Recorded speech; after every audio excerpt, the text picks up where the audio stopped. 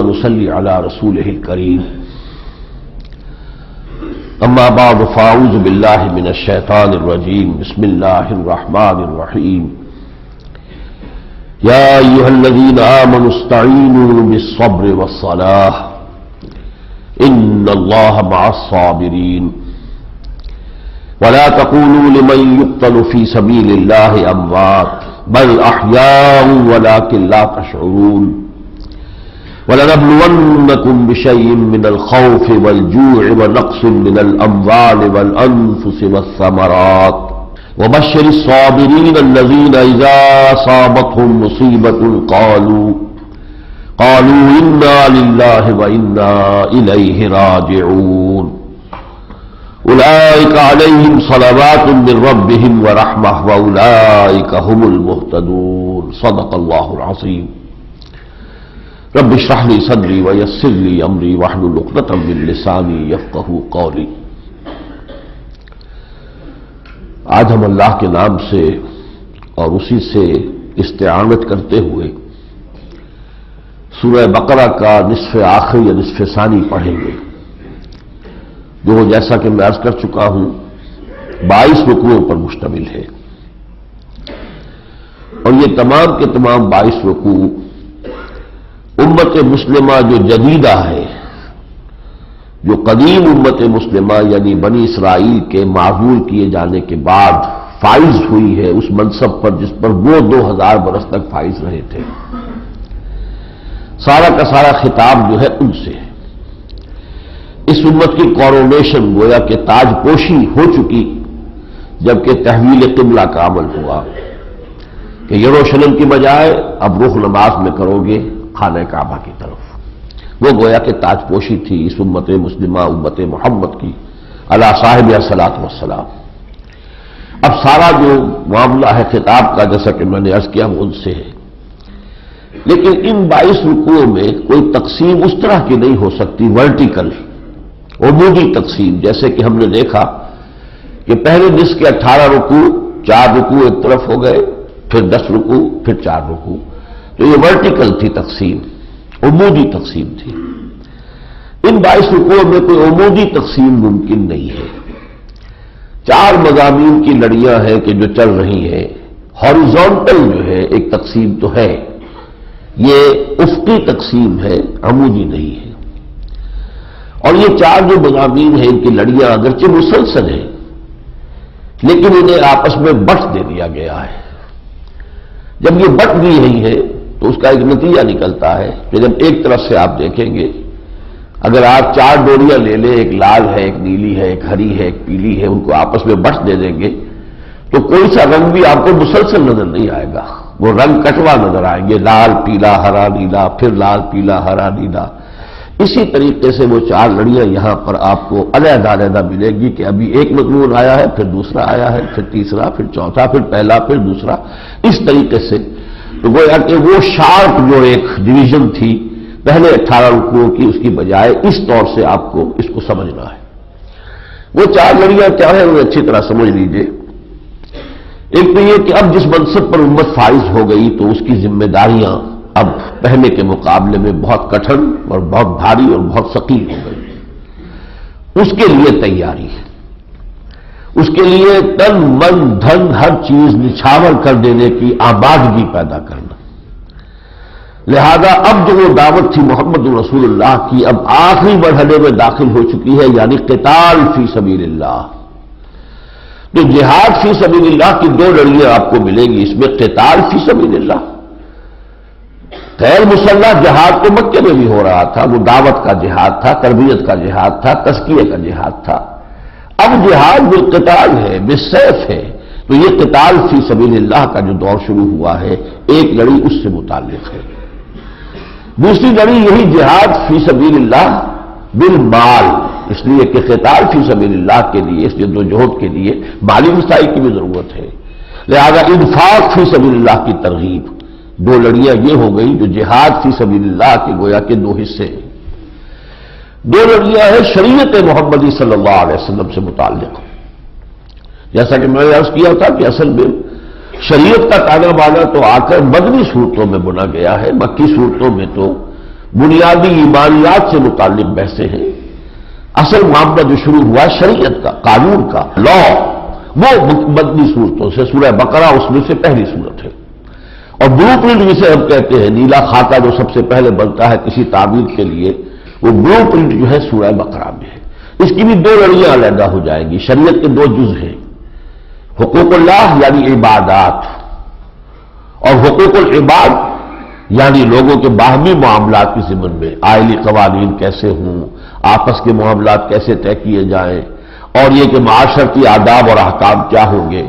इस तरीके से ये चार लड़ियाँ चल रही है। किताल फ़ी सबील्ला इन्फाक फ़ी सबील्ला इबादात और मामलात। इनको बट दिया गया। और इस ताने बाने में जगह जगह फिर हमें हिकमत कुरानी के बहुत बड़े बड़े फूल समझ लीजिए, हीरे समझ लीजिए, मोती समझ लीजिए मिलेंगे। और वो तवील आयात है। आयतुल बिर, आयतुल आयात। एक अजीम तरीन आयत कुरानी मजीद की आयतुल कुर्सी, आयतुल दैन आयतुल इख्तलाफ। ये पाँच आयात जो है इन बाईस रुकू के अंदर, नहायत जामे। और हमत कुरानी और फलसफे दीन के एतबार से बहुत अहमियत की हामिल है। इस मुख्तसर सी तबीयत के बाद अब आइए, उन्नीसवा रुकू जो है, उसके मजामी क्या है?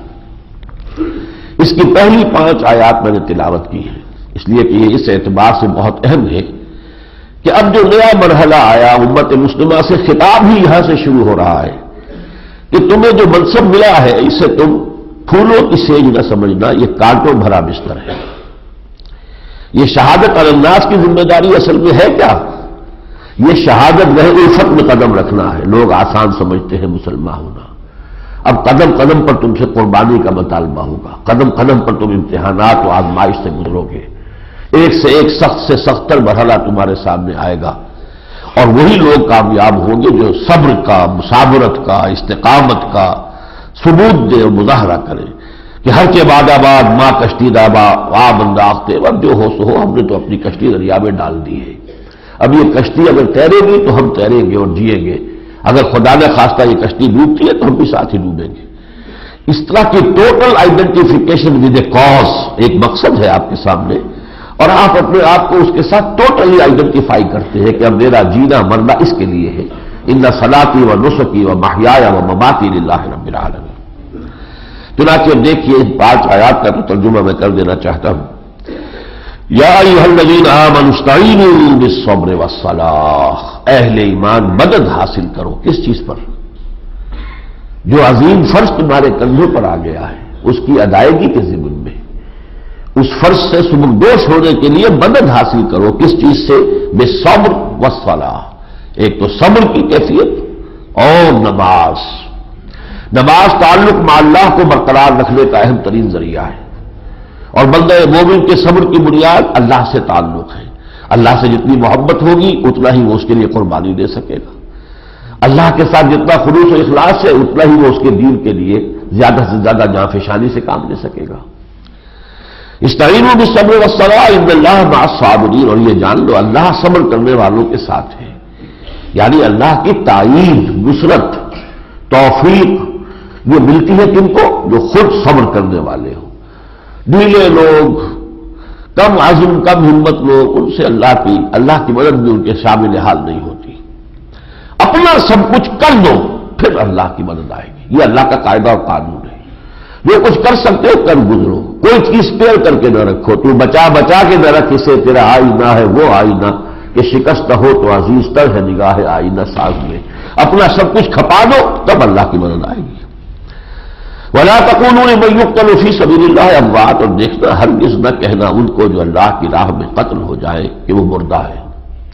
गोया कि अब कताल का बार का गर्म होने वाला है तो ज़ाहिर बात है, इसमें जाने देनी पड़ेगी, लोग कत्ल होंगे। बल अहयाओ बल्कि वो तो ज़िंदा है। बला किल्ला तशूर लेकिन तुम्हें उसका शूर और इदराक नहीं हो सकता।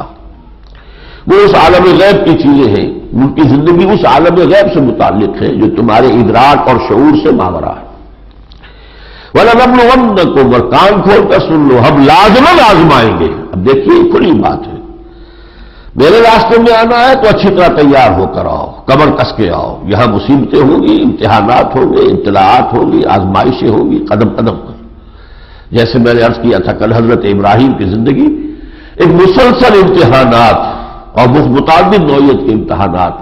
और जब उन तमाम इम्तहानात में से वो कामयाब होकर गुजर गए, तब कहा गया इंदी जा इनका से इमामा खौफ नक्स से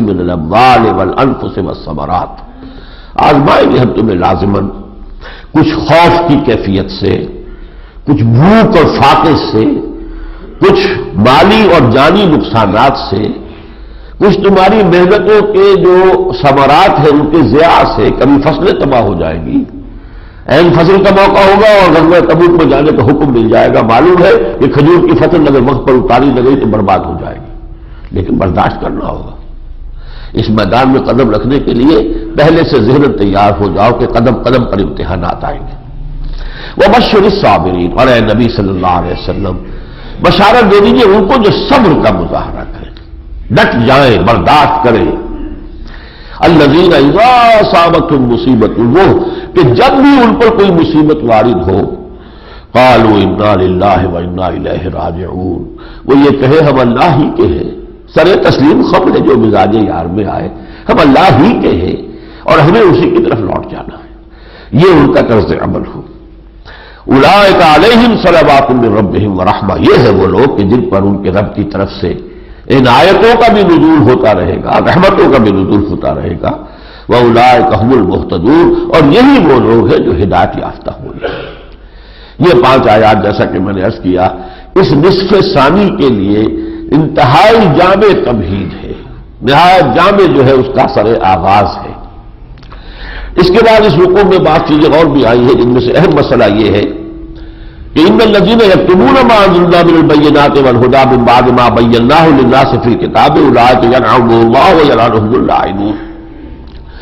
फिर हुए सकून आखिरी मरतबा इस हिस्से में हो रहा है यहूद के उलमा की तरफ़।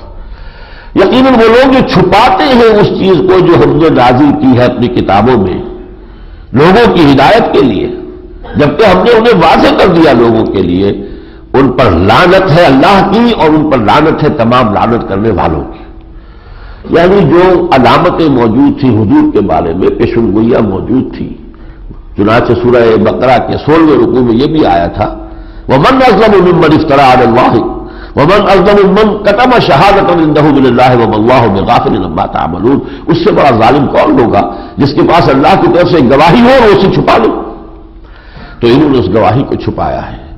इन पर लानत है। अलबत्त इन्हें यह भी कह दिया गया इन लजीन ताबू वासलहू वबैरू फौलाए कातूब अलहमान तवाब रहीम। अभी दरवाज़ा हमने बंद नहीं किया है। जो लोग तोबा करें, रुजू करें और अब वजाहत करें, बयान करें, उन शहादतों को बयान कर दें, आम कर दें तो अल्लाह ताला उनकी तोबा को कबूल फरमा लेगा। बीसवां जो रुकू है इस सूरह मुबारक का, वो हमत कुरानी के दो बहुत अहम मबाहिश पर मुश्तमिल है। पहली बहस यह है कि ये जो फ़िज़िकल वर्ल्ड है, यूनिवर्स इसके जो तमाम फ़िज़िकल फिनोमिना हैं, ये सब अल्लाह की निशानियाँ हैं। ये बहुत अहम बात है। और फ़िज़िकल साइंसेस और दीन को इस तरह जोड़ देने वाली शय है। ये कोई गैर नहीं है, ये कायदात अल्लाह की तखलीक है। लिहाजा इसका हर हर जर्रा जो है वो अल्लाह की निशानी है। ये मजमून जो है कि अल्लाह की निशानियाँ है आसमान और ज़मीन के अंदर, तखलीक में, रात और दिन के उलट फेर में। हवाओं के चलने में, कश्तियों के चलने में, ये सारी चीज़ें जो फिनोमिन ऑफ़ द नेचर है they are all signs of अल्लाह सुबह व ताला signs and symbols symbols of his wisdom symbols of his knowledge symbols of his omnipotence कि वो अला कुल्ल शाहिद कदीर है बेकुल्ल शाहिद अलीम है, हकीम है। तो उसकी अलामत है। चुनाची आयतुल आयात का उनवान मैंने इसके लिए तजवीज किया है। इन नफ, और ये इसलिए कि इसमें जितनी आयात जितने फ़िज़िकल फिनोमिना जमा कर दिए गए, किसी और आयत में कुरान में जमा नहीं है। इन नफीसल की समावत वल्लौस यकीन आसमान और ज़मीन की तखलीक में वख्तिलाफ नहार, रात और दिन के उलट फेर में, वल फ़िल्म की नती तजरीफ बाहर बिमाफाउदास और उस कश्ती में जो चलती है दरियाओं में और समंदरों में लोगों के लिए मुनाफे बख्श सामान लेकर वबाद मनमाइन, और जो अल्लाह बारिश उतारता है, आसमान से पानी उतारता है वाहया बिलाबाद मौतेहा। और फिर उसके ज़रिए से ज़मीन को उसके मुर्दा हो जाने के बाद ज़िंदा कर देता है। कोई हरियावल नहीं, ज़मीन सूखी पड़ी हुई है, बारिश आती है, और उसमें हर तरफ़ जो है हरियावल है। ज़िंदगी ही ज़िंदगी है मौजूदन साफी बदसमी सियान कुल्ले दाब, और ज़मीन में हर तरह के चौपाए और हैवानात को फैला दिया। वह तशरीफी दिया है, और ये हवाओं के चलने में। वह सहाबिल है बैन समाए व लर्द और ये बादल के जो आसमान और ज़मीन के माबैन मुसखर हैं। लायातिन ये कौमी याकिलून, निशानियाँ हैं उन लोगों के लिए जो अक्ल से काम ले। ये कौन कर रहा है? किसकी तदबीर है? किसकी हिकमत है? किसकी खल्लाकी है? किसकी सन्नाई है? इस कायदात में कोई रखना नज़र नहीं आता, इस तकलीफ़ में कोई नक्श नज़र नहीं आता, कहीं कोई खला नहीं है। तो किसका कमाल है? किसकी कमाल हिकमत है? किसका कमाल इल्म है? किसका कमाल कुदरत है? कौन है? इनको देखो और अल्लाह को पहचानो। यह है कुरान के फलसफे की पहली बुनियादी बात। दूसरी बुनियादी बात, जो अल्लाह को पहचान लेगा, फिर अल्लाह उसके लिए महबूब तरीन हस्ती हो जाएगा। यह अलामत है, लिटमस टेस्ट है। वाकई अल्लाह को पहचान लिया है। तो कोई शय, कोई फर्द, कोई इंसान अब आपके नज़दीक अल्लाह से महबूब तर नहीं रहेगा। अगर है तो अल्लाह को पहचाना नहीं है। मैं कदर अल्लाह का कदर। नहीं, कदर की उन्होंने अल्लाह की, जैसे कि उसके कदर करने की का हक था? अगर उसे पहचान लोगे तो फिर निगाह कहीं और टिकेगी नहीं। उसका हुस्न जमाल देख लिया तो कोई हुस्न जमाल तुम्हारी निगाह में जचेगा ही नहीं। उसके कमालात सामने आ गए तो कौन सा कमाल है कि जो आपके ऊपर असरअंदाज हो सकेगा?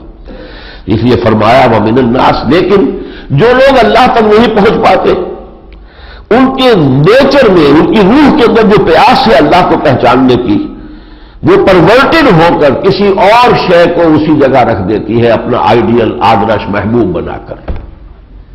किसी ने वतन को महबूब बना लिया, वतन को खुदा बना लिया।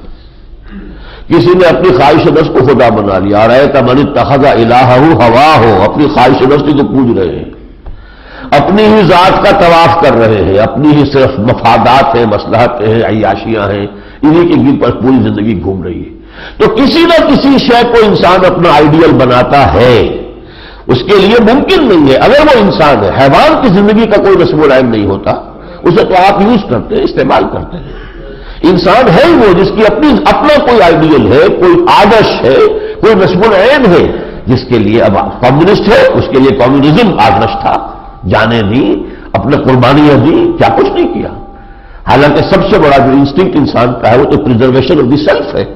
अपना वजूद, अपना तहफुज लेकिन अपनी जाने दे रहे हैं लोग। किस लिए? कि वो आदर्श, वो तस्वुर इस तस्वुर के हुस्न मुबहम पर सारी हस्ती लुटाई जाती है। ज़िंदगी करके आरज़ू के बाद कैसे सांसों में ढाली जाती है। अगर कोई आरज़ू है ही नहीं, कोई उमंग है ही नहीं, कोई आइडियल है ही नहीं, कोई आदर्श है ही नहीं तो फिर तो हैवान की सतह पर आ गए। फिर ह्यूमन वेजिटेबल बनकर रह गया इंसान वमिल्ला से मैं अंदाज कहूँ इंसानों में से कुछ ऐसे भी हैं कि जो अल्लाह के सिवा कुछ और को उसका मद्द मुकाबल बनाकर उससे मोहब्बत करने लगते हैं, जैसे कि अल्लाह से मोहब्बत करनी चाहिए थी।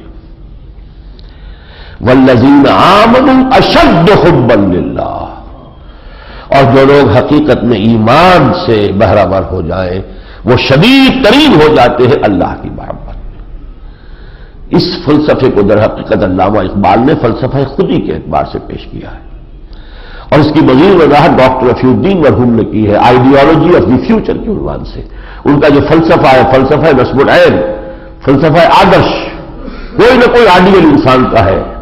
वो आइडियल हकीकत में तो है अल्लाह। अल्लाह ही हमारा मतलूब मकसूद हो जाए।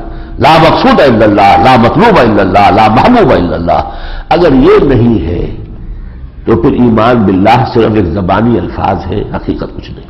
इसके बाद हम इक्कीसवें रुकू पर आएँगे तो इस इक्कीसवें रुकू में असल में कुछ मबाहिश जो बहुत तफसील से सूर्य अनाम में आए हैं, वहाँ हम पढ़ेंगे, उनका खुलासा दिया गया है।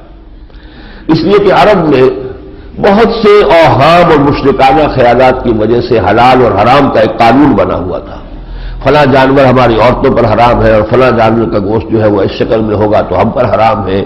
फिर कुछ बुतों के नाम पर छोड़ देते थे, जानवर जैसे हिंदू भी छोड़ देते थे सांड वगैरह, उसको कोई हाथ नहीं लगा सकता। जहाँ चाहे खाए, पिए, ना उसका गोश्त खाया जा सकता है, ना उससे कोई खिदमत की जा सकती है।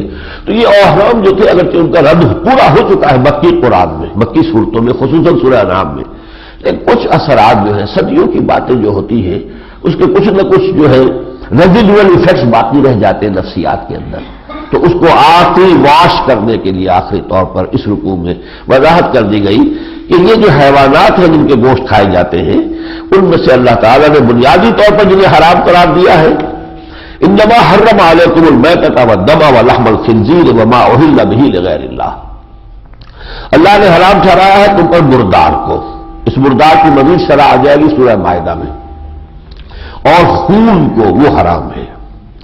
और खिंजीर के गोश्त को। और हर उस जानवर को जिसे जिबा किया गया अल्लाह के सिवा किसी और के नाम पर, उसमें शिरक शामिल हो गया। फबल स्टूल वगैरह, बागी वाला आदमी।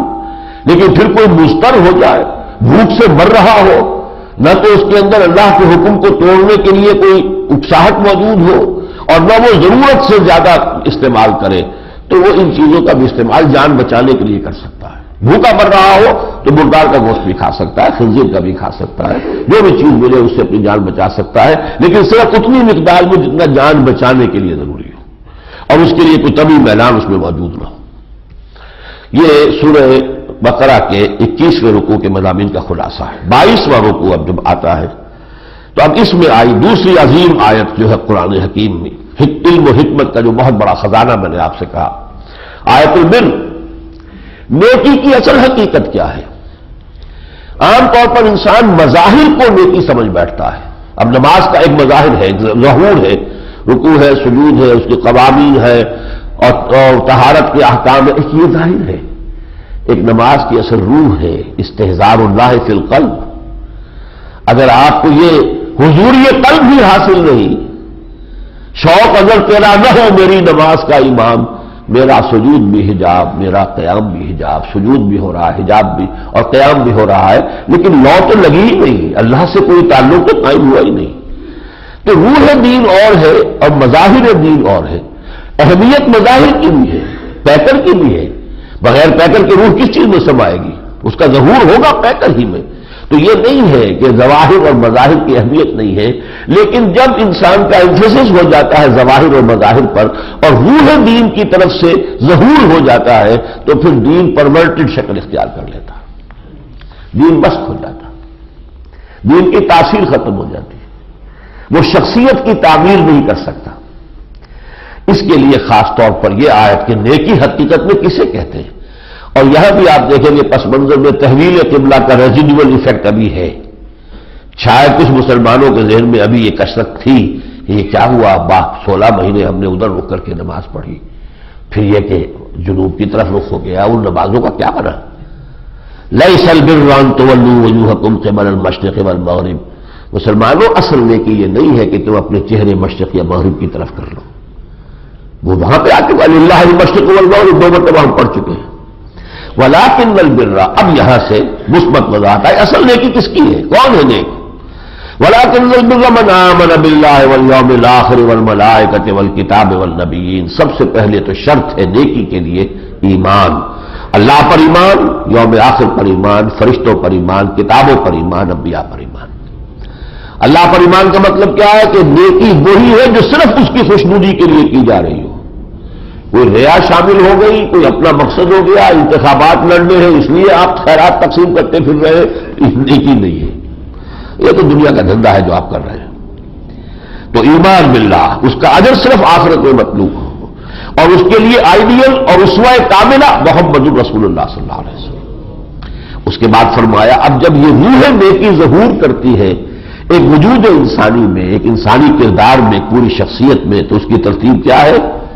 वाकल माल अला हुब ही जविल कुरबा वल यतामा वल मसाकिन वबन सबील वसाइलीन वफिरका दिया उसने माल अल्लाह की मोहब्बत में या माल की मोहब्बत के अलरहम दोनों तर्जुमे इसके होते हैं। अपने कलाबतदारों को, यतीमों को, मिस्कीनों को, मुसाफिरों को, मांगने वालों को और गर्दनों के छुड़ाने में। सबसे पहली नेकी, अब जाहिरी अमली नेकी में सबसे पहली नेकी के लिए उन्वान हो जाएगा इंसानी हमदर्दी। नमाजों के अंबार लगाए हुए हैं और दिल कठोर है, सख्त है। किसी को तकलीफ़ में देखकर और उसकी तकलीफ़ को रफा करने के लिए तबीयत आमादा नहीं होती, नेकी नहीं है। तुम जाहिद होगे, आबिद होगे, जो चाहो हो जाओ, नेक नहीं हो सकते। जब तक कि यह इंसानी हमदर्दी का मादा तुम्हारे दिल में मौजूद हो। चौथे पारे की पहली आयत यह लम तनालबिल्लाहत्ता तुम से कोई बात हिब्बूर नेकी के मकाम तक तो पहुँच ही नहीं सकते जब तक कि खर्च ना करो, उसमें से जो तुम्हें महबूब है। वह आतल माल आला हुब ही जबिल कुरबा वल यतामा वल मसाकिन वबन सबील व साइलिन वफिरकाब उसके बाद, वह अकाम सलात वात जका नमाज़ कायम करें, जक़ात अदा करें। गोया कि पहला खर्च जक़ात के अलावा है। वल मूफून बेहदा आहद और जो भी अहद कर ले आपस में तो फिर अहद को पूरा करने वाले। ये तमाम मामला इंसानी जो है, ये कॉन्ट्रैक्ट के बेसिस पर ही चल रहे हैं दुनिया के अंदर। Marriage is a social contract between a man and a woman सारे एम्प्लॉयर एम्प्लॉय कॉन्ट्रैक्ट है। सारे बड़े कारोबार कॉन्ट्रैक्ट पर है। तो ये मुआहदा जब हो गया तो अब उसकी पाबंदी है। उससे सरमू इनहराफ जो है, अगर आप कर रहे हैं तो नेकी वेकी नहीं है फिर। नमाजें हैं, आपके उम्रे हैं और आप कोई कारोबारी आदमी है, जरा सा रेट इधर उधर हो गया, सौदे से फिर गया, वैसे हर साल उम्र के लिए जाता है, उसका ज़ीरो हो जाएगा नेकी का मेरा आहदू और फिर आखिरी मरतबा और मकाम क्या है? वह साबरी नफिल बासाए वर्राए वहीन अलबास जो हम पहले ही पढ़ चुके उन्नीसवें रुकू में। अब अल्लाह के दीन के लिए जिद्दोजहद करते हुए, उसके दीन की सरबलंदी के लिए जो मसाइब भी आए सब्र करने वाले फकर फाका में, जंग की कैफियत में, और तकलीफों के अंदर उलाय कल लजीना सदकू व उलाय कहमुल मुत्तकून, ये लोग हैं कि जो सच्चे हैं अपने दावा ईमान में। और ये लोग हैं जो हकीकत में मुत्तकी हैं। किसी एक शय को ले लिया, लिबास अपना ठीक कर लिया मज़ा कटा हो गई, दाढ़ी लंबी हो गई, सब हो गया, तकवा हो गया, नहीं नहीं। उलाय का हमल मुतकून ये मैार है। अल्लाह के नज़दीक मुतकी वो शख्स है, जो इस पूरे मैार के ऊपर पूरा उतर रहा हो। इसके बाद इस रुकू में कुछ अहकाम आए हैं शरीयत के, जिनमें से एक किसास का हुक्म है, कोतब आले को किसास फिर कतला। कत्ल के मामले में किसास की पाबंदी करो। इसी तरीके से जब तक कि यह कानून विरासत नाजिल नहीं हुआ था, वो सूर्य निशा में आएगा। तो आर्जी तौर पर वसीयत का हुक्म दिया गया। अगर कोई मुसलमान फौत हो रहा हो, कोई माल छोड़कर जा रहा हो तो अपने वालदेन के लिए और कराबतदारों के लिए वसीयत करके जाए। और इसके अहकाम है। अब आता है तेईसवा रुकू। यह है कि जिसने आज हमें जमा किया हुआ है यह रुकू है, जो हिकमत अहकाम सोम और रमज़ान, उस पर मुश्तमिल। ये छह आयात इंतहाई मोहकम और इंतहाई जामे सौम से मुतालिक सारे अहकाम, सारी हमतें सारे फलसफे इस छह आयात में आ गए। ये खास मामला है। कुरान मजीद में हज का ज़िक्र भी, सूरह हज में भी है, सूरह बकरा में भी है। नमाज़ के मुख्तलिफ़ अहकाम मुख्तलिफ़ जगहों पर आपको मिल जाएँगे। वज़ू का हुक्म कहीं और मिलेगा नमाज़ खौफ का नमाज़ कहीं और मिलेगा। लेकिन सौम की इबादत मखसूस इस एतबार से मुमताज़ है कि एक रुकू, छह आयात में सारे अहकाम और हमतें आ गई। या ये लजीन आमन कुतब आलकुम सयाम कमा कुतब लजीन अमिन कबलकुम लालकुम तत्तकून। पहले ईमान तो ये जान लो कि तुम पर रोज़े फ़र्ज़ किए गए, वैसे ही जैसे पहलों पर फ़र्ज़ किए गए थे। और इसका एक मकसद है मकसद है तकवा। अगर वो मकसद पैदा नहीं हो रहा तो रोजा ज़ीरो है। जैसे पहले झूठ बोलते थे, वैसे ही तीस रोज़े रखने के बाद झूठ बोल रहे हैं। तो झक मारी है ये। ये तीस रोज़े जो रखे हैं, ये फाके की है, ये रोजा तो नहीं है। हजूर ने फरमाया, कम मिन सामिन लहू मिन सियाम ही लंजू कितने ही रोजेदार ऐसे जिन्हें अपने रोजों से सिवा भूख के और कुछ हासिल नहीं होता। मल्लम लगा कौन जूर है? वलामला भी फलैसल्ला हाजतुलदा बहु शराब बहु जो झूठ बोलना, झूठ पर अमल करना ना छोड़े, अल्लाह को कोई ज़रूरत नहीं कि वो अपना खाना पीना छोड़कर बैठ जाए। रोजा तो तकवा के लिए। और इस रुकू की आखिरी आज में बयान कर दिया गया, तकवा का असल क्राइटेरियन क्या है? अकले हलाल है तो तकवा है। ये नहीं है तो दाढ़ियों की तूल से और पजामों के ऊँचे होने से तकवा नहीं है। अकले हलाल।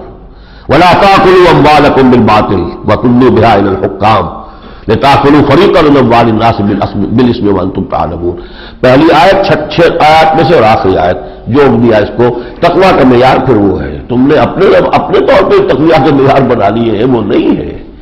तकवा का मैार ये अकल हलाल।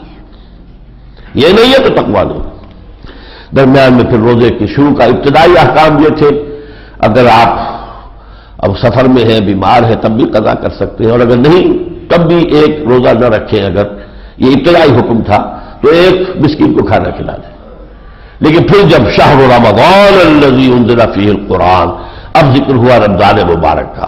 पहले असल में तीन रोज़े हर महीने हुजूर ने रखने का हुक्म दिया था। तेरह, चौदह, पंद्रह, तीन दिन हर महीने में रोज़े रखने का हुक्म दिया।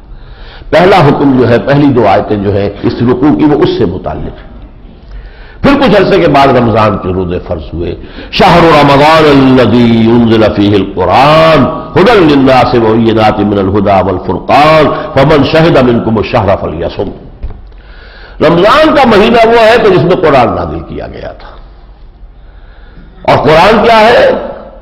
लोगों के लिए हिदायत और हिदायत मिल रहा है तो वाज साफ़, मुबीन अंदाज में। बैनात मिलल हुदा, वल फुरकान, हक व बातिल में फ़र्क कर देने वाली शिक इस कयाम इस रमज़ान में कुरान के मजूद की बुनियाद पर यह महीना मुंतखब किया गया सौम के लिए। क्यों? सौम से मकसद तकवा। और तकवा ना हो तो कुरान से इस्तेफादा ही मुमकिन नहीं। शुरू में सूरह बकर हदल मुतकीन ये हिदायत है मुतकीन के लिए। अगर अंदर ही आपका जो है नापाक है तो कुरान आपको क्या करेगा? अंदर पाक हो, तकवा हो, तलब सही हो, नियत सही हो, तब कुरान की हिदायत से इस्तेफादा हो लिहाजा ये दो आशा प्रोग्राम कर दिया गया।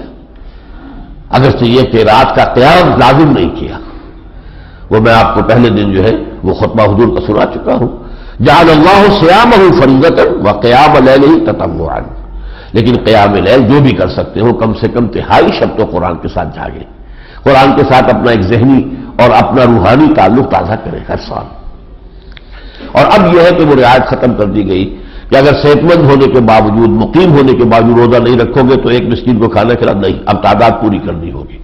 हाँ, सफ़र और बीमारी में नुकसत बरकरार है। लेकिन उसकी कजा करनी होगी। वाले तुक मिलता वाले तुकम बिरुवाहदा बाहदा कुमलाल लकुम तशकरून। और इसका हासिल क्या होगा? महज रोज़े का हासिल तकवा है। दिन का श्याम रात के क्याम, दो को जोड़कर हासिल क्या होगा? तुम्हारा जो मानवी वजूद है, रूह रब्बानी जो तुम्हारे अंदर है, वो तवाना होकर, ताज़ा होकर अल्लाह की तरफ़ मुतवजह होगी। और वो इस आयत में मजमून आ गया मैं इजासा इबादी अन्नी फ़नी करीब। ए नबी, जब मेरे बंदे आपसे मेरे बारे में सवाल करें, अब वो जज्बा उभरा है। तकर्रब अल्लाह इंसान चाहता है मैं अल्लाह से करीब से करीब करूँ। ये रूह वहीं से आई है। लिहाजा ये तकर्रब, जो शय जहाँ से आई है, उधर ही उसका रुझान होगा। हमारा ये जज्बानी वजूद ज़मीन से बना है। लिहाजा इसका रुझान ज़मीन की तरफ़ है। ज़मीन ही से इसकी तकवीत का सारा सामान आ रहा है। इसको भूख लगती है तो कहाँ से आ रहा है इसकी भूख का सामान? ज़मीन से आ रहा है। लेकिन रूह को भूख लगती है तो इसका सामान क्या? ये रोहनी आपके जो सालन है और मुरजम गजाएँ तो रूह के लिए गजा नहीं बन सकती? रूह की गजा कलामुल्ला है। रूह अबरुल्ला है। यह सलूल का भी रूह को रूह बिन अब्र रब्बी। अब्र रब है। और इसकी गजा, इसका तगजिया और तकवीत यह है कलाम रब्बानी से। ये तकवीत पाएगी। तो नबी, उन्हें बता दीजिए जब मेरे बंदे मेरे बारे में, मेरा तकर्रब हासिल करने की इस जज्बे के तहत पूछे तो उन्हें बता दीजिए, मैं करीब हूँ, दूर नहीं हूँ, मैं तो तुम्हारी दगे जहाँ से भी करीब हूँ। जहाँ चाहो, जब चाहो, मुझसे मुखातिब हो जाओ। इतना फ्री लाइसेंस नोट कर लीजिए मज़हब की दुनिया में इसके बजाय वास्ते लाए जाते हैं। तुम लजिस हो, तुम कैसे अल्लाह से बात कर सकते हो? किसी पाक बाज का वसीला और वास्ता तलाश करो। किसी फौतशुदा की रूह को वसीला बनाओ, जाओ, उसकी कब्र पर चढ़ावे चढ़ाओ, तब कहीं जाकर उसके ज़रिए से तुम्हारी दरखास्त अल्लाह के हजूर में पहुंचेगी। लेकिन कुरान ने क्या किया है? मेरा बंदा जब चाहे, जहाँ चाहे, there and then I listen to him वैजा साल का अमनी फैनी करीब, उजीब दावत दाए इजादान। हाँ, एक शर्त है। अगर अपनी बातें मुझसे बनवाना चाहते हो फरियस्तजीब उली तो मेरी बातें भी तो मानो। यह तरफा मामला नहीं होगा। कल हमने पढ़ा था फसकूनी अस्कुर को, मुझे याद रखो तो मैं तुम्हें याद रखूँगा। यहाँ भी तुम चाहते हो मैं तुम्हारी दुआएँ कबूल करूँ तो तुम भी तो मेरी पुकार पर लब्बैक कहो फलियस्तजीबूली वलियू भी और मुझ पर अपना यकीन और ईमान पुख्ता रखो। लाल लहुम यरशदून। इसी से रुष्ट है, इसी से हिदायत है। इसी बात को कहा अल्लामा इकबाल ने कि क्यों खालिक मखलूक में हाई हूँ? हाई रहे पर्दे पीराने कलीसा को कलीसा से उठा दो वो पुजारी होते थे, पुरोहित होते थे, पंडित होते थे, हमारे यहाँ पीर है, फिर पोप है, फिर पादरी, सब पैसे चलती है। ये सारी जो खबासतें हैं, ये सब पैसे हैं। पुजारी, पंडित, पुरोहित, पादरी पीर सब ये इनको वास्ता बनाओ। तुम कैसे? तुम्हारी बात कैसे सुनेगा हो हमें ज़रिया दो, हमारे हमें नजराने पेश करो, मुट्ठी गर्म करो, और ये साहिब कब्र है। ज़ाहिर बात है साहिब कब्र को जो कुछ दिया जा रहा है, कहाँ जा रहा है? उसके मुजाविर को जा रहा कब्र वाले के पास क्या पहुंचेगा? वो तो जो मुजाविर बैठा हुआ वहाँ, उसके लिए। तब कहीं जाकर तुम्हारी दरखास्त पेश होगी। ये मेरे नज़दीक मैं इसे कहा करता हूँ कि वैसे तो हकूक इंसानी का मैगना कार्टा एक मशहूर है। लेकिन इससे बड़ा मैगना कार्टा कोई नहीं हो सकता कि इंसान पर से ये सारी पाबंदियाँ हटाकर और अल्लाह ताला से बराह रास्त हम कलाम होने का ये ऐलान हो रहा है। इसके बाद एक तवील आयत है जिसमें कि कुछ अहकाम दिए गए हैं कि रोज़े के अहकाम जो है, सबका उम्मत मुस्लिमा में कुछ मुख्तलिफ़ थे। हमारे यहाँ ये अहकाम मुख्तलिफ़ हो गए। उनके यहाँ रात को सोते ही रोजा शुरू हो जाता था, कोई शहरी नहीं थी। हमारे यहाँ शहरी है बल्कि उस पर ज़ोर दिया गया इसी तरीके से उनके यहाँ बाद रोज़े ऐसे थे जिनमें गुफ्तगु पर भी पाबंदी थी। यहाँ कोई ऐसा मसला नहीं है। तीसरे यह कि वहाँ रोज़े की रात में भी अपनी बीवियों के साथ हम बिस्तरी की इजाज़त नहीं थी। यहाँ उसकी भी नरमी कर दी गई कि इख्ताम रोजा से लेकर और फिर अगली शहरी के अख्ताम तक इसमें खाने पीने की भी इजाज़त है और जिनसी ख्वाहिश पूरी करने की भी इजाज़त है जायज़ रास्ते से। तो ये वो जो फ़र्क है, वो बयान कर दिया। उसके बाद चौबीसवें और पच्चीसवें रुकू में दो अहकाम गडमड होकर आ रहे हैं। एक है अहकाम हज और एक है हुक्म कताल फ़ी सबील्ला और बड़ी खूबसूरत इसके अंदर जो तरतीब है कि अगरचे कताल फ़ी सबील्लाह का एक जो है गायत खुशवा उसकी आखिरी मंजिल तो है दीन का गलबा। लेकिन फौरी तौर पर उसका जो मकसद अवलीन था, वो ये कि जो अल्लाह की तोहीद का मरकज इब्राहिम और इस्माइल ने तामीर किया था, उसे इस वक्त शिल्प का अड्डा बना रखा है। इसको पाक करना और मुशरकों के तसल्लुत से उसको आज़ादी दिलाना यह उसका गोया कि पहला कदम है, पहला मरहला है। लिहाजा हज अल्लाह के घर का होता है, बैतुल्लाह का होता है। उस हज के तस्करे के फ़ौरन साथ ही किताल से सभी अल्लाह का हुक्म आ सबसे पहले तो फरमाया गया, या सरूर काबिल कुल या मवाती तो निंदा से वल हज ये जो भी चाँद की घटती बढ़ती सूरतें हैं उससे चाँद की तारीखें निकलती हैं, ये सब मवातीत हैं लोगों के लिए, कैलेंडर है जो अल्लाह ने बना रखा, और हज का निज़ाम इसी पर है। उसके बाद हज का ज़िक्र आते ही वकातलूफी सबील नजीर यो कातिलूनकुम अब जंग करो उन लोगों से अल्लाह की राह में जो तुमसे जंग कर रहे हैं। अब ईद का जवाब पत्थर से दो।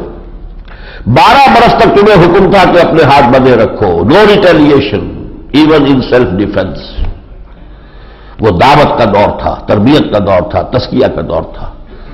वो बादशाह दरवेशी, दरसाज, दमादम जंग का दौर था। वो दरवेशी का दौर था। दावत, तस्किया, तरबियत, इसके लिए दरवेशी की ज़रूरत है। अब मरहला आया इकामत दीन की जद्दोजहद का। अब किताल का मरहला है। अब ईद का जवाब पत्थर से दो। कातलूफी सबील्लाजीन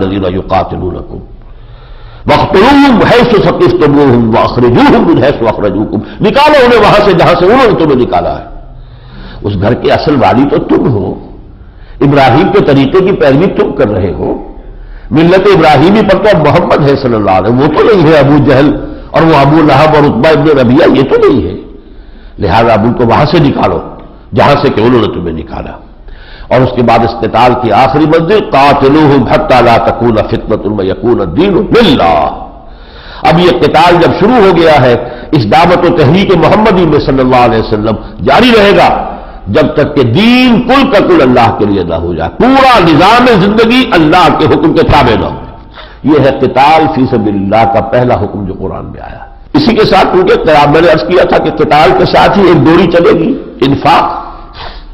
इसी के कताल फ़ी सबील्ला के लिए माली वसाई भी तो चाहिए, असलाह भी चाहिए, ऊट चाहिए, घोड़े चाहिए, सब कुछ चाहिए, कुछ रसद चाहिए। ऐसे तो नहीं हो जाएगा कताल लिहाजा इसमें आ गया मान शकू फ़ी सबील्ला वला तुलकू बैदी को भी रहता अल्लाह की राह में खर्च करो और देखो अपने हाथों, अपने आप को हलाकत में मत डालो। अगर तुम अपने माल तिजोरियों में बंद करके रखोगे तो गोया कि अपनी हलाकत का सामान कर रहे हो। इस माल का मसरफ क्या है? गोरबा मसाकिन, जो भी तुम्हारी ज़रूरत से जायद है, उसका असल मसरफ क्या है? या महरूमीन, यतामा, मिस्कीन, मोहताज, और या अल्लाह के दीन की जिद्दोजहद। उसमें लगा दो, खपा दो, सर्फ कर दो। इसके बाद ये मरासिम हज है, ये एक तफसीली बात है, इस वक्त यहाँ इसके बयान नहीं हो सकता। अलबत् इसके जिमन में दो बातें जो आई हैं, जो हिकमत से मुतालिक हैं। लक्ष्य खींचा गया है कि कुछ लोग तो वो हैं कि जो हज के मौके पर भी दुआएँ जब मांगते हैं तो दुनिया ही की मांगते हैं, दौलत की, कारोबार की औलाद की। इसलिए कि उनका मतलब मकसूद दुनिया ही दुनिया है। वहाँ पहुंचकर भी दुनिया ही मांग रहे हैं। उनका जहन इससे ऊपर है ही नहीं। सोच उससे बदलकर है ही नहीं। तो इंसान मांगेगा वही जो उसके अपने जहन में है, जो उसका हदूद अरबा है, उसकी सोच का, वही कुछ तो तलब करेगा। लेकिन कुछ लोग वो है कि जो ये दुआ करते हैं, अल्लाह हमें दुनिया का भी भलाई अता फरमा और दीन की और आखरत की भलाई भी अता उनकी गोया की तारीफ़ की गई। फमिन अल्लाह से मैं यकूल रबना आतना फिर दुनिया, फमा लहू फिल आखिरत मिन खला कुछ लोग ऐसे हैं जो कहते हैं, अल्लाह हमें दुनिया ही में दे दे जो कुछ देना है। आखिरत में उनका कोई हिस्सा नहीं। है वह मिनहूं मैं यकूल, इनमें से ऐसे भी है। अल्लाह रबना जालना मिनहूं अल्लाह ताला हमें उनमें शामिल करे। मैं यकून रबना आते ना फिर दुनिया हसनत वफिल आखिरत हसनत वकीना आजाब अन्नार परवरदिगार हमें दुनिया की भी भलाई से नवाज़ आखिरत की भलाई से भी और हमें आग के अजाब से बचा ले उलाय का लहुम नसीबुल्मा कसबू ये है वो लोग तो उनको हिस्सा मिलेगा अपने कसम में से ये लोग भी महज दुआ करने से कुछ नहीं पाएँगे जब तक कि मेहनत ना करे कसम ना करे कोशिश ना करे लैसा दिल इंसान बासा जब तक कि सही नहीं है, जिद्दोजहद नहीं है, इंसान का कोई हक नहीं। निम्मा कसब वल्लाह सही और हिसाब। अल्लाह ताला हिसाब लेने में बहुत जल्दी करता है। हिसाब लगा लेगा। और ये नसीब निम्मा कसबू क्यों कहा? हो सकता है कि कुछ हमारे काम जो है, उनमें खुलूस नीयत में कुछ खलल आ गया हो। तो अल्लाह क्या कंप्यूटर है? कौन सा अमल खालिश उसके लिए किया गया जिसका सद फ़ीसद अगर मिलना चाहिए? कौन सा कुछ पॉल्यूटेड था, उसका कुछ कम मिलना चाहिए, वो उसका हिसाब कर लेगा। उसके कंप्यूटर्स जो है, बड़े ही सुपर कंप्यूटर्स ये चौबीसवां पच्चीसवां रुकू आ गया। अब आइए छब्बीसवां रुकू। इसके शुरू में आयतुल इख्तलाफ है। यानी नौ इंसानी में इख्तलाफ कैसे हुआ? कुरान यहाँ बता रहा कि इब्तदा में पूरी नौ इंसानी एक ही उम्मत थी। हज़रत आदम की औलाद। ज़ाहिर बात नौ इंसानी उन्हीं की नस्ल है। तो इब्तदा में अभी कोई गुमराही नहीं, कोई इख्तलाफ नहीं, कोई फ़र्क नहीं, कोई तफरका नहीं। लेकिन फिर यह कि लोगों में इख्तलाफ पैदा हुआ। जब इख्तलाफ पैदा हुआ तो फिर हमने अपने नबी भेजने शुरू किए, ताकि वो सही बात की तरफ़ लोगों को दावत दे सके और उस इख्तलाफ के, उसमें से लोग निकल सके कि तजब्जुब में मुबतला हो गए।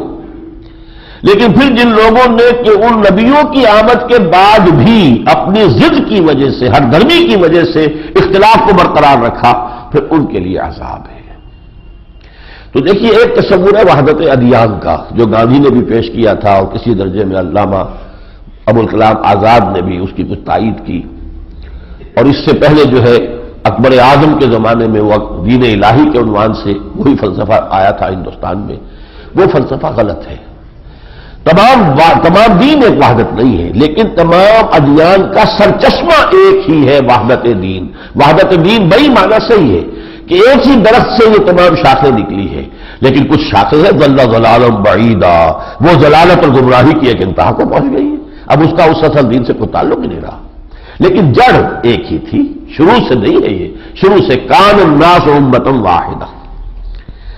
इब्तदा में लोग एक ही उम्मत थे। उसके बाद गोया कि महजूब है ये अल्फाज कि सुन मख्तलफ फिर इख्तलाफात शुरू हो गए। फबासल्लाह नबीन अब मुबशरीन अब मुजरीन फिर अल्लाह ने नबी भेजने शुरू किए, जो बशारत देने वाले थे, सही रुख पर चलने वालों को और खबरदार करने वाले थे, जो गलत रास्ता इख्तियार कर रहे थे वंजला माहबुल किताब अबिल हक, उनके साथ किताबें नाजिल की हक के साथ। ले यहकुम बैन नासफी मख्तलफूफी ताकि वो लोगों के माबैन फैसला कर दें, जिनमें उनका इख्तलाफ हुआ था। वह मख्तलफ फ़ी है लजीन ऊतू बिबाद मा जातुलबैनात और अब उसके बाद के उनके पास वो बैनात हमारी तरफ़ से आ गई थी। तो फिर जिन्होंने इख्तलाफ किया उन्होंने नहीं इख्तलाफ किया, मगर बलियम बैन हूँ जिंदम ज़िंदा। एक रास्ता नबी ने बता दिया, सही है, दूसरा गलत है। अब गलत वास्ते वाले ये सोचेंगे, हमने अपना छोड़ा, इनका इख्तियार किया तो गोया हम इनके ताबे हो गए। ये जीत गए, हम हार गए। ये जिद्दम जिद्दा है कि जो इंसान की असल गुमराही का सबब है, जिससे तफरका पैदा होता है। जैसे हम देख चुके कि यहूद के उलमा ऐसे पहचानते थे हजूर को जैसे अपने बेटों को। फिर क्यों नहीं माना? यारिफून हो कमा ना हो अबू जहल ने माना, जब उससे पूछा गया था क्या तुम्हारे ख्याल में मोहम्मद झूठ बोल रहे हैं? उसने कहा, हरगिज नहीं, मोहम्मद ने कभी झूठ नहीं बोला। फिर क्यों नहीं मानते उनको? उसने कहा, हमारे और बनी हाशिम के दरमियान मुकाबला चल रहा था। कौन ऊँचा है, कौन सा कबीला ज़्यादा इज़्ज़त वाला है? उन्होंने लोगों की खिदमतें की, हमने उनसे बढ़कर की, उन्होंने लोगों को खाने खिलाए हमने उनसे बढ़कर खिलाए हम कंधे से कंधा जोड़े चले आ रहे थे हम उनकी नबूत मान लेंगे तो हम तो हमेशा के गुलाम हो गए। ये कबूल नहीं हुई ये है तकबर इस्तकबार। यही तकबर इस्तकबार था जो कि अजाजील को, इबलीस को लेकर डूबा। अबा वस्तकबरा वकाल मिनल काफरीन। जब उसने हज़रत आदम के सामने झुकने से इनकार किया इनकार किया और इस्तकबार किया। तकबर असल जड़ है सारी गुमराही की। और इसी के साथ उसकी बहन समझ लीजिए हसद है। किसी और में कोई खैर नज़र आ जाए तो हसद। बजाय इसके कि अल्लाह से इंसान तलब करे, अल्लाह मुझे भी ये खैर अटा कर दे। ठीक है, कोई हर्ज नहीं। लेकिन हसद इससे सल्ब हो जाए, मुझे मिल जाए। ये तकबर और हसद जो है, ये है असल में तमाम जो कलबी, रूहानी, नफ्सियाती, जितने भी अमराज हैं, उनकी जड़ है तकबर इस्तकबार और हसद। इसके साथ ही कताल के हुक्म पर इस छब्बीसवें रुकू में एक तंबीह के अंदाज में फरमाया है। कुछ लोगों को शाम गुजर रहा होगा, ये अब आगे चल के वो आयत भी आ जाएगी। अम हसिब तुम अंतत खुल जन्ना मुसलमानों, क्या तुमने ये गुमान किया था कि जन्नत में दाखिल हो जाओगे? सिर्फ़ क्या कह दिया, ईमान ले आए मोहम्मद पर, ईमान ले आए कुरान पर सल्लल्लाहु अलैहि वसल्लम तो बस। अब हसिब तुम तदखुल जन्ना वलम्मा या के कुम मसलजीन खलाओ बिन कबल कुम अभी तक तो उस तरह की आजमाइशें तुम पर आई ही नहीं है, जैसी कि तुमसे पहलों पर आई थी। वो आयत हम पढ़ चुके वाला लबन बंद को हम लाजमन आजमाएँगे तुम्हें। तो तुम पर तो अभी वैसी आजमाइशें आई ही नहीं। वहाँ उन पर कैसी कैसी आजमाइशें आई थी? मस्सत मुलबा साउ व जुलजलू। हक्का यकूल रसूल मता करीब। उनके ऊपर सख्तियाँ आई, जंगें मुसलत हुई, तकलीफें आई, भूख और फको फाका आया। वो हिला दिए गए झिझोड़ दिए गए जुल ज़रूर जलजला जैसे होता है। इस तरीके से झिझोड़ दिए गए। यहाँ तक कि पुकार उठा वक्त का रसूल और जो उनके साथ थे, मता नसरुल्ला अल्लाह की मदद कब आएगी? तब उन्हें खुशखबरी दी गई, अला इन नसर करीब। तो अभी ये कठिन मंजिलें आनी है। अभी बद्र का मरहला है, फिर ओहद है। अभी तो इल्म खुदाबंदी में तो सारे मराहल पहले से मौजूद थे ना। अभी तो आ रहा है। इसी रुकू में फिर आगे और खोल कर बात बयान कर दी। कुतब आलकुम कताल वह कुरकुम ए मुसलमानों, तुम पर अब कताल फ़र्ज़ कर दिया गया है। कोतबा फर्जियत के लिए आता। कोतेबा अलैकुम आप रोजा रखना फ़र्ज़ कर दिया गया। कोतेबा अलैकुम किसास किसास का मामला तुम पर फ़र्ज़ कर दिया गया, लाजिम कर दिया गया। कोतेबा अलैकुम किताल वह कुरकुम अब ये जंग जो तुम पर फ़र्ज़ कर दी गई तो ये तो तुम्हें अच्छी नहीं लग रही। कराहत महसूस कर रहे हो। आसान तक रहू शायद, एक उसूल जान लो, ये बड़ा अहम उसूल है ईमान बिल्लाह पर। उसकी क्रॉलरीज उसके जो मुतजम्मिनात हैं, उनमें से अहम तरीन जो है चीज़ ये है, आसान तक रहू शयन वह खैरुल्लकुम हो सकता है किसी शय को तुम पसंद न करो और उसी में तुम्हारा खैर हो। वह आसान तो हिब्बू शयन वह हुआ शरुल्लकुम और हो सकता है तुम किसी चीज़ की मोहब्बत करो और पसंद करो, जबकि उसमें तुम्हारे लिए शर हो। अल्लाह यालम तालमून। अल्लाह जानता है, तुम नहीं जानते। तुम किसी शय के जो फौरी असरात हैं, उनको देखते हो। एक बच्चे को कड़वी दवा पिलाई जा रही है, वो तो समझ ली मुझ पर बड़ा जुल्म हो रहा है उसे क्या पता कि किस खैर के लिए दवा उसको पिलाई जा रही है। किसी का ऑपरेशन किया जा रहा है तुझे क्या पता गंगरीन का क्या नतीजा निकल सकता था, अगर मेरा बाजू न काट दिया जाता तो बहुत यकीनी थी, पूरे जिसम में यह जहर फैल जाता। उस वक्त वो नागवार गुजर रहा है तुम्हें हालाँकि उसी में तुम्हारा खैर है। और बहुत सी चीज़ें जो बड़ी पसंदीदा है, बहुत खुशगवार है। फौरी जो है सेंशुअल ग्रेटिफिकेशन की जो शक्ल भी होगी। जो भी हमें जिनसी लज्जत हासिल हो गई या कामो दहन की लज्जत हासिल हो गई, कोई लजीज शय खाकर लज्जत हासिल हो गई, ये बड़ी खुश आइन है, लेकिन हो सकता है इनमें शर हो। लिहाजा मामला अल्लाह पर छोड़ो। तफलीजुल अम्र जो उसने कहा वो करो। इसी में खैर है। चाहे बजाहिर वो तुम्हें नापसंद और नागवार महसूस हो रहा हो। सत्ताईसवें रुकू में किताल के अहकाम के बाद जो मैंने छब्बीसवें रुकू के हवाले से बयान कर दिए, फरमाया गया कि असल में कामयाब होने वाले लोग वो हैं। इसलिए कि कई सवाल इसमें आए हैं कि जो हजूर से लोग कर रहे थे, जिनके जवाब दिए गए पहला सवाल यह था कि जो मोहतरम महीने हैं, चार महीने हराम के जो मोहतरम होते थे, इनमें भी जंग की इजाज़त है? इसलिए यह वाक़ हो गया था। जो वाक़ नखला हो गया था, तफसील में जाने का मौका नहीं है, जो गजब बदर की बुनियाद बना है। उसमें मुसलमानों के हाथों एक मुश्तिक कत्ल हो गया था, जबकि अभी अशर हुरम शुरू हो चुके थे। इसका बड़ा वावेला उठा दिया उन्होंने। इन्होंने तो अशर हुरम की हुरमत को बट्टा लगा दिया। तो जब यह सवाल किया गया तो अल्लाह ताला ने जवाब दिया कि यकीनन यह सलूल कान शाहिल हराम में ए नबी, आपसे पूछ रहे हैं, ये इस मोहतरम महीने में कताल का क्या हुक्म है? कुल कताल फ़ी है कबीर। कह दो। उसमें जंग करना बहुत बड़ी गलती है, लेकिन वह सदुल सबीर व कुफरम नहीं वह मस्जिद हराम है वह इखराज वाले ही मिनो अकबर इंदल्ला लेकिन ये जो कुरैश अल्लाह के रास्ते से रोक रहे हैं, न हज करने दे रहे हैं, न उमरा करने दे रहे हैं, लोगों को रोक रहे हैं, वहाँ से निकाल दिया है, ये जराइम जुर्म से कहीं ज़्यादा बड़े हैं। बास चीज़ें तुम्हें महसूस होती है कि ये तो बड़ी ही, ये सेक्रेट काउज है। ये तो बड़े ही मुकदस गाय है, इसे टच नहीं करना। लेकिन उससे बड़े बड़े जो है, जैसे हज़रत मसीह ने कहा था, तुम्हारा हाल यह है कि मच्छर छानते हो और समोचे ऊट निकल जाते हो। तो इस जो है, ये सेंस ऑफ़ प्रोपोर्शन इसको बरकरार रखो। और फरमाया उसके बाद वल नजीन हाजर व जाहदू फ़ी है उलाय का यरजून रहमत यकीन वो लोग जिन्होंने हिजरत की है और अब जो जिहाद कर रहे हैं अल्लाह के रास्ते में, यही वो लोग हैं जो अल्लाह की रहमत के उम्मीदवार है। वल्लाह गफूर रहीम। अल्लाह ताला गफूर है रहीम है। दूसरा सवाल किया गया और सबूल काबिल खमर खम्र वलमैसर नबी, आपसे ये पूछ रहे हैं, अब यहाँ से वो अहकाम का सिलसिला, माशरती अहकाम का, वो सिलसिला शुरू हो रहा है। शराब के बारे में और जुए के बारे में। कुल्फी हिमा इसमुल कबीर कह दीजिए कि हाँ दोनों चीज़ों में बहुत बड़ा गुना है। वह मुनाफे निंदास कुछ फ़ायदे भी है लोगों के लिए। वह इसमो हुमा अकबर बिन नफहिमा अलबत् इनका गुनाह का पहलू जो है, इनके नफा के पहलू से बहुत बढ़कर है। बस ये कहकर बात छोड़ दी, ये पहली हिदायत दे दी। इसमें एक बात नोट करने की है, ये शराब और जुए को क्यों ब्रैकेट किया गया? क्या चीज़ मुश्तरक है?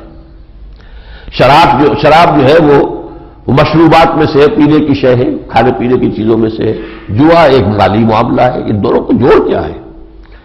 इन दोनों में कदर मुश्तरक जो है वो ये है कि दोनों में मेहनत से फिरार का जज्बा है। शराब आदमी क्यों पीता है? फेस नहीं कर सकता, तल खताइब जो है ज़िंदगी के। मैं मैं कदे की राह से होकर गुजर गया, वरना सफ़र हयात का बेहद तवील था। मैं से गरज निशात है किस रूह से आपको एक गोला बेखुदी मुझे दिन रात चाहिए। Escapism you don't face the realities you want to escape शराब का नशा दत्त हो गया। जुआ क्या है? चांस के ऊपर दाव लगाओ। ये भी मेहनत की जिद है। Escape from struggle escape from labour इन दोनों में मुश्तरक है। इसके बाद सवाल किया गया कि कितना खर्च करें? ये खर्च करो खर्च करो खर्च करो, आ रहा है, अभी तो और आएगा। ये सलूल का माता यूशकून उल्लास पूछते हैं, कितना खर्च करें? कह दीजिए, इनसे जो भी तुम्हारी ज़रूरत से जायद है। ज़रूरत से जायद जो है, उसे अपने पास डिटेन न करो। यह सरप्लस वैल्यू का कुरान का तस्वूर है। एक सरप्लस वैल्यू है मार्क्सिस्ट थ्योरी की। उसको जहन से निकाल दीजिए। यह सरप्लस थ्योरी का तस्वुर कुरान का जो अल्लाह ने तुम्हें दिया है, उसमें जो तुम्हारी जरूरियात पूरी हो जाए, ये तो तुम्हारा जायज़ हक था। बाकी तुम अपने पास जमा कर रहे हो रिटेन कर रहे हो, या उसे मजीद कमाई का ज़रिया बना रहे हो, ये खराबी है। ये खर्च कर दो। ये तो फ़ी अम्बाल हक मालूम मिसाइल महरूम। अव्वलन तो ये उनका हक है, जो माशरे में गिरे पड़े तबकात है, महरूम है। उनका हक है, पहुँचा दो उनको। दूसरे खर्च करो, अल्लाह की राह में। दे दो। अल्लाह के दीन के लिए, अल्लाह के दीन की सरबरंदी के लिए। जो भी ज़रूरत से जायद है। एक सवाल वजाहत की गई यतीमों के बारे में वह सरूर कालिल यतामो। क्योंकि मक्की कुरान मजीद में कई मकाम में बड़ी सख्त सरदरिश हुई थी कि यतीमों का माल हड़प ना करो। अब एक शख्स है जिसकी जेर किफालत, एक यतीम है, यतीम का माल भी है। अब वो छोटा है और ये हड़प कर रहा है उसका माल। उसके माल को अपने माल में जोड़कर कारोबार में लगाया और उसमें जो है वो कर रहा है, बेईमानी कर रहा है ख्यानत कर रहा है। रोका गया बड़ी सख्ती के साथ। बड़ा तकरबू माल यतीम इल्ला बिल्लतिया करीब तक ना भटको मारे यतीम के। उसकी ये हद हुई फिर के कुछ लोगों ने हांडियाँ भी अलहदा कर दी कि ये यतीम की हांडी अलहदा है, इसके लिए बोटियाँ जो है, जो बाज़ार से खरीदी गई है, वो इसी के लिए है। हम न खाई खा इसमें जो सख्ती हो रही थी, उसको यहाँ नरमी में बदला गया कि नहीं, ये मतलब नहीं था। मतलब यह था कि तुम उसके माल को हड़प ना करो। बाकी वो तुम्हारे भाई हैं, उनके साथ सही मामला रखो तो कोई हर्ज नहीं। अल्लाह को खूब मालूम है कि कौन मुफसिद है और कौन मुसले है। और आखिरी हुक्म जो इस रुकू में आया, मुश्रिक औरतों से हरगिज शादी मत करो। वला तन के मुशरकात हत्या योमिन जब तक कि वो ईमान न ले आए। वलामत नो मिनत उन खैर उनमें मुशरकत वाला आजबत कुम एक मोमिना अगर लौडी भी है कनीज भी है तो वो बेहतर है। एक मुशरिका से चाहे वो आज़ाद है और चाहे वो तुम्हें पसंद भी आ गई हो, तुम्हारी निगाहों में खूब भी गई हो। लेकिन ये ये कनीज और ये लौडी अगर तुम्हें मैसर आ रही है मुसलमान, ये बेहतर है। वला तुम के मुशरकी न हत्या यू मेरू और अपनी औरतें, अपनी बेटियाँ, ये मुशरकों के निकाह में न दो। हत्या यू मेनू जब तक कि वो ईमान न ले आए। वाला अब्दुल मोमिन, एक मुसलमान चाहे गुलाम हो खैर में मुशरकिन वाला वाजवत वो उस मुशरक से बेहतर है जो आज़ाद भी है और तुम्हें पसंद भी है, मालदार भी है, साहिब हैसियत वजाहत भी है। उलाक यदून इरंदार ये वो जो मुशरकिन है मर्द और औरतें, ये तो आग की तरफ़ बुलाने वाली हैं। बुलाने वाले और बुलाने वालियाँ हैं। वल्लाह जन्नत बल मकफरत नेज नहीं और अल्लाह तुम्हें बुला रहा है। मकफरत की तरफ़ और जन्नत की तरफ़ अपने इज्न से। वयुबैल्ला से करूँ और इसी तरह अल्लाह ताला वाज कर रहा है अपने अहकाम को। ताकि तुम नसीहत अखज कर सको और सही रास्ते को इख्तियार कर सको। ये वो ब्लू प्रिंट है शरीयत के अहकाम का जो यहाँ से शुरू हुआ है मामलात के जिमन में। हज का आ चुका, सोम का आ चुका, मामलात के जिमन में यहाँ से जो माशरती अहकाम है उसका सिलसिला शुरू हुआ है और अगले तो तीन रुकू तो मुसलसल चलेंगे, सिर्फ़ खानदानी आयनी कवानीन के बारे में पढ़ेंगे। बारक अल्लाह फिल कुरान अजीम, व नफानी वैया कुल बिल आयात व ज़िक्र हकीम।